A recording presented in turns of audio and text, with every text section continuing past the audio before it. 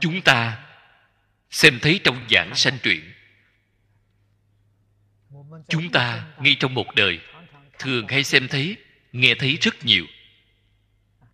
Người niệm phật giảng sanh. Có người đứng mà đi, có người ngồi mà đi. Biết trước giờ chết, không bị bệnh. Đi được hoan hỷ, đi được tự tại đi được rất đẹp. Đó là công phu gì vậy? Đều là công phu niệm phật thành tựu.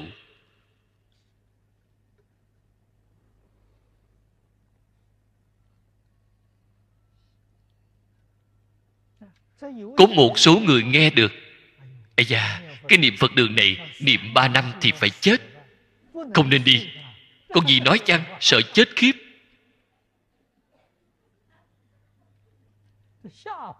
Vậy thì được sao?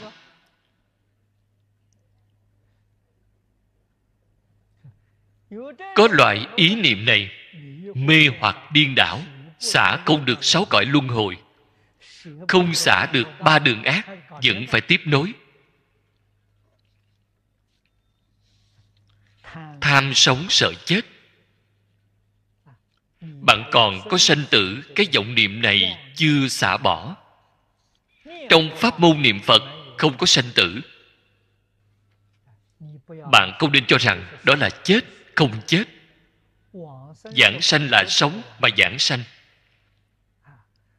Chết thì không thể giảng sanh.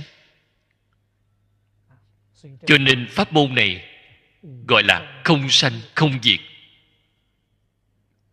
Vậy thì đúng, vì sao vậy? Khi giảng sanh bằng rõ ràng, tường tận, thông suốt, thấu đáo phật đến tiếp dẫn, ta cùng đi với phật. Cái túi da thối này không dùng nữa, bởi vì đến thế giới tây phương cực lạc, phải đổi một cái thân. Phải đổi cái thân kim sắc tử ma đến nơi đó. Tướng mạo trang nghiêm giống y như tướng mạo của a di đà phật. Thân có vô lượng tướng tướng có vô lượng vẻ đẹp. Cái tướng của chúng ta thật là quá xấu, đến nơi đâu cũng không có người quan nghênh. Cho nên chúng ta phải đổi một cái thân này, phải đổi tướng hảo. Đi đến thế giới tây phương cực lạc, cái thân thể này không cần đến nữa, bỏ mất rồi.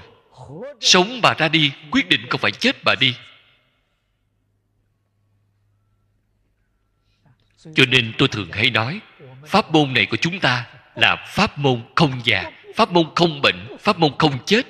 Bạn đi đến đâu để tìm? Tôi nói thảy đều là lời thật. Chỉ cần bạn niệm phật, tâm địa niệm đến thanh tịnh, vừa rồi mới nói bất cứ bệnh cổ nào cũng sẽ niệm tiêu hết, đều không còn. Bạn sẽ không bị bệnh, bạn cũng không già yếu ngày ngày hoan hỷ hoan hỷ thì trẻ trung, con người gì sao mà già, lo buồn thì già.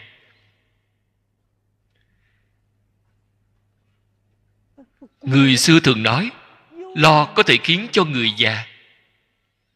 Bạn thường hay lo buồn thì bạn dễ dàng lão hóa. Trong lòng bạn thường hay hoan hỷ thì bạn làm sao già? Bạn không thể già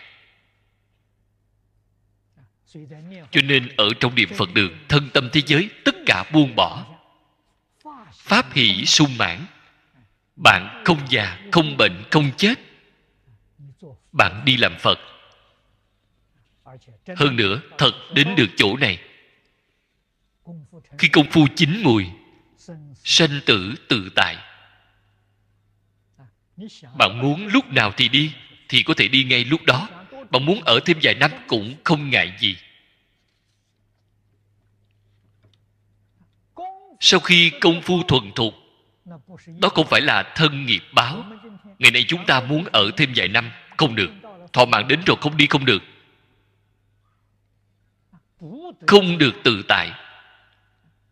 Thọ mạng chưa đến, muốn chết cũng chết không được. Thọ mạng đến rồi, muốn sống cũng sống không được. Phiền phức này thật lớn. Công phu niệm phật của bạn thành tựu, bạn liền tự tại muốn ở thêm vài năm, không ngại gì. Muốn đi sớm một chút, liền được, liền có thể đi sớm. Đến lúc đó, bạn chính mình liền biết được chính mình phải nên làm thế nào. Nếu như nói ở thêm vài năm nữa, ở thế gian này, lý do lưu lại vài năm để làm gì? Độ chúng sanh. Còn có một số chúng sanh có duyên với mình. Bạn gì để giúp đỡ những chúng sanh này nên ở thêm vài năm để độ họ. Đó mới là lý do. Quyết định không phải ham thích hưởng thụ thế gian này. Hưởng thụ thế gian làm gì có thể sánh được với thế giới tây phương cực lạc? Ở chỗ này của chúng ta phòng ở cũng xem là không tệ thế giới tây phương cực lạc, cái phòng này không có người nào ở. Người đều là cung điện bằng bảy báo. Bên trên chúng ta chỉ họa một số phù điêu thiếp vàng lên trên. Đó là loại vàng giấy rất mỏng dán lên một lớp, vậy thôi. Thế giới tây phương cực lạc, những đồ vật đó đều thuần là vàng. Làm gì chỉ dán lên một lớp mỏng? Bạn xem dưới đất đất bằng lưu ly lưu ly là gì vậy? Hiện tại người thế gian chúng ta gọi là tỷ thúy.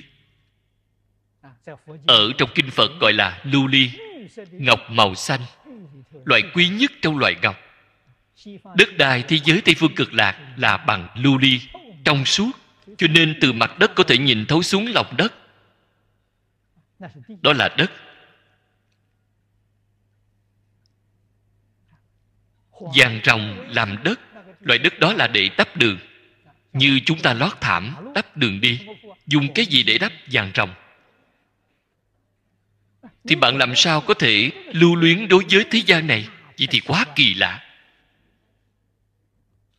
Không hề có đạo lý này. Ăn uống. Bạn thấy trên kinh nói, muốn ăn thứ gì, ý niệm vừa nghĩ, thì đồ ăn đã bày ra trước mắt đến lúc đó liền sẽ nghĩ, chúng ta không phải là phạm phu nữa, không phải chúng sanh sáu cõi. Cái ý niệm muốn ăn là tập khí ở trong sáu cõi. Khi tập khí khởi lên, nó tự nhiên liền hiện hành. Vừa giác ngộ, thì lập tức không còn nữa. Lại biến mất hết. Sạch sẽ, tinh khiết. Cho nên thế giới tây phương cực lạc không có nhà bếp. Cũng không có rác rưởi bạn nói xem tự tại dường nào. Cung điện của bạn ở sạch sẽ tinh khiết. Trong đây trống rỗng, không có bất cứ thứ gì. Muốn bất cứ một thứ nào, thì thứ đó liền hiện ra. Không cần nữa. Không cần thì không còn. Bạn nói xem từ tại cỡ nào, làm gì giống như chúng ta hiện tại đồ vật để lộn xộn, rối rắm. Từng đống từng đống. Khi dọn dẹp thì cũng rất phiền phức. Đến thế giới tây phương cực lạc, những hiện tượng này thấy đều không có. Ờ, bạn tự nghĩ xem, khi người đã công phu tới rồi, vì sao mà họ không mau đi, họ đi hưởng phước?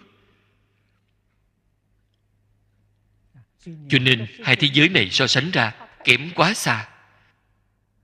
Họ có phước báo lớn như vậy, họ không hưởng phước, họ lưu lại ở nơi đây. Đó là xả mình vì người. Giúp đỡ một số chúng sanh có duyên mang theo nhiều người cùng đi. Lý do ở ngay chỗ này nếu như chính mình không có những duyên phận này, không có duyên phận với chúng sanh, công phu của họ thành tựu rồi, không ai mà không đi sớm hơn. Người thông thường chúng ta muốn đi mà đi không được, bất đắc dĩ thôi. Chân thật có được năng lực này, ai mà không hy vọng đi sớm hơn? Sớm một ngày thấy phật, sanh đến thế giới tây phương cực lạc. Mỗi ngày bạn không chỉ cúng dường mười vạn ức phật. Trên kinh di đà nói mười vạn ức phật. Đó là không dụng ý. Trên thực tế, mỗi ngày bạn đi cúng dường vô lượng vô biên chư phật. Thế tôn nói với chúng ta mười vạn ức là vì chúng sanh thế giới này của chúng ta mà nói. Bởi vì chúng sanh thế giới này tình chấp rất nặng sanh đến thế giới tây phương cực lạc, luôn là nghĩ đến cái địa cầu từ trước là quê hương của chúng ta. Quê hương hiện tại như thế nào rồi? Quan tâm một chút. Cho nên mới nói, mười dạng ức cõi đức phật. Cái ý này chính là như vậy. Bằng lúc nào cũng có thể quay lại địa cầu này để thăm viếng.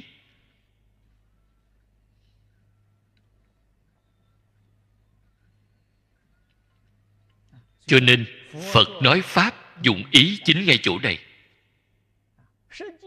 năng lực thực tế siêu diệt hơn đi rất nhiều lần.